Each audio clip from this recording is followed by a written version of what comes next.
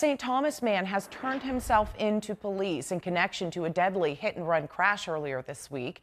Tuesday afternoon, 31 year old Rafael Ledesma German turned himself into officers of the Traffic Bureau of VIPD. He admitted to being the driver of a maroon Acura, which struck and killed 37 year old Royson No Baptiste on Brookman Road back on Sunday.